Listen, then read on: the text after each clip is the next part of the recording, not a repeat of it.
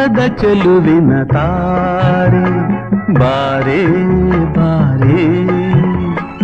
ಒಲವಿನ ಚಿಲುಮೆಯ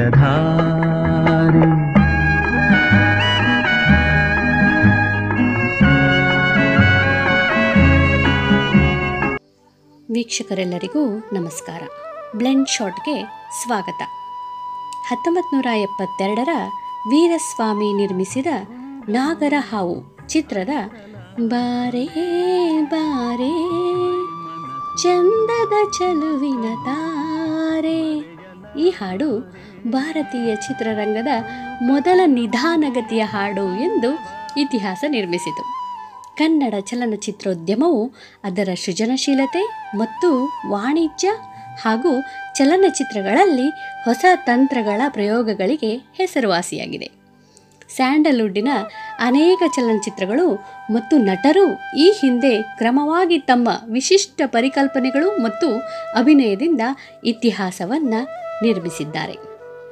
block buster hit ಆದಂಥ ನಾಗರ ಹಾವು ವೀರಸ್ವಾಮಿ ನಿರ್ಮಿಸಿದ ದೊಡ್ಡ ಬಜೆಟ್ ಚಿತ್ರವಾಗಿತ್ತು.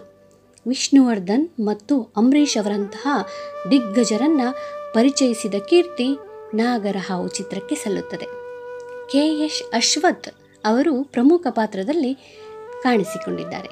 ಹಾಗೆ ಆರತಿಯವರನ್ನು ಕೂಡ ಕನ್ನಡ ಚಲನಚಿತ್ರೋದ್ಯಮಕ್ಕೆ ಪರಿಚಯಿಸಿತು ಈ ಚಿತ್ರ.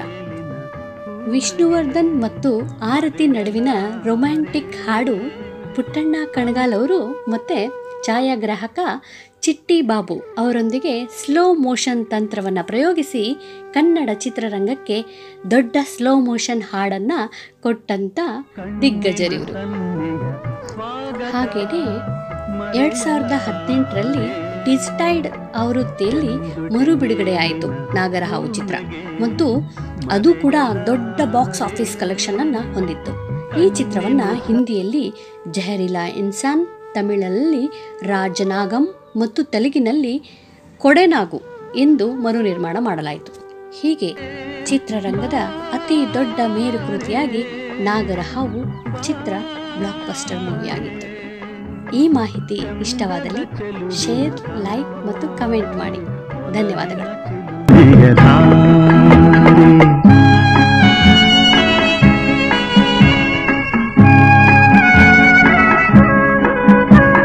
ಬಾರೆ ಬಾರೆ, ಚಂದದ ಚೆಲುವಿನ ಬಾರೆ.